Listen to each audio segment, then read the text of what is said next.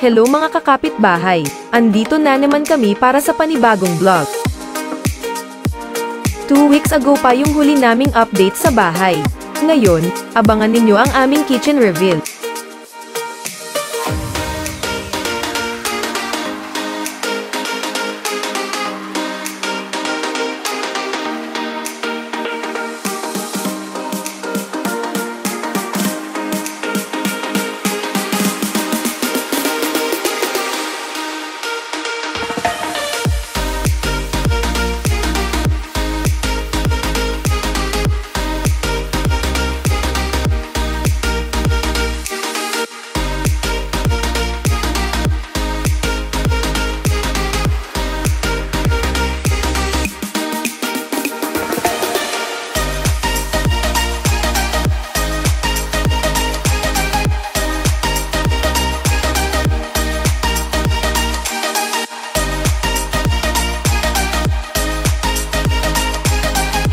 Bago yan, ito pala ang aming mga chikitings. Kakauwi ko lang galing trabaho at naabutan ko silang naglalaro.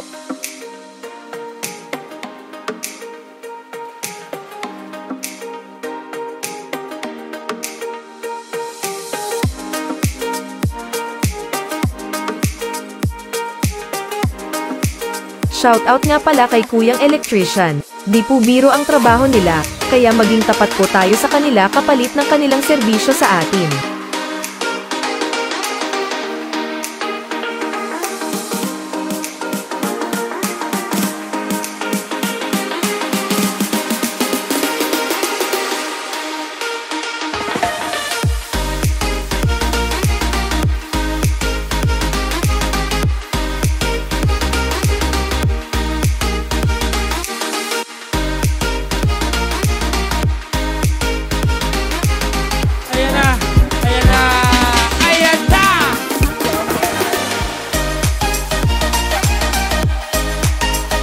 Napili naming theme ay gold and white na may pagka-team kahoy.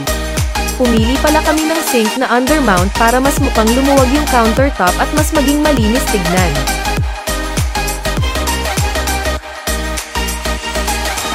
Nagpa-additional work kami ng pantry para nakatago ang aming mga supplies.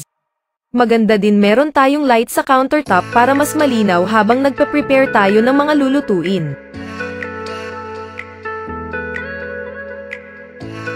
Hindi kami marunong pumili ng kulay ng ilaw, kaya't naisipan na lang namin na paghaluin ang puti at warm white sa aming mga ceiling light at pin light.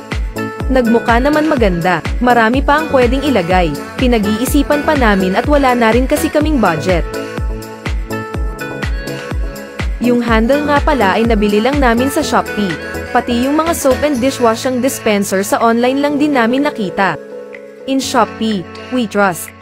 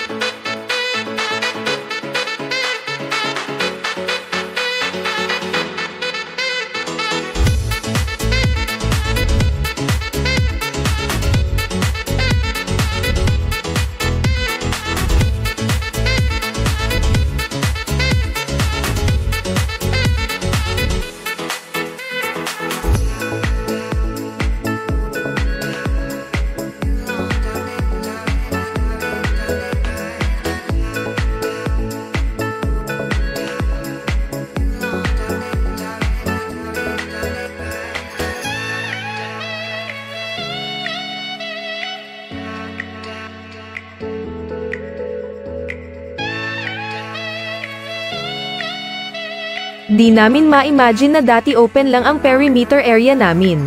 Ang size pala ng aming lot is 63 square meter. Mas malaki ito sa typical Thea house. Mukhang sinuwerte kami dahil dapat sa Woodcrest kami. Nailipat kami sa Westwood dahil sa mga delays ng construction. Ngayon, na-transform na namin sa magandang kitchen at small laundry area. Abangan ninyo din pala ang gagawin namin sa laundry area slash tambayan area. Sa mga nagtatanong, ang aming contractor ay NMB Builders. Shoutout pala kay kuya ninyo at ate Pian. NMB lang sa kalam. Ang ganda ng ngiti ni kuya dyan.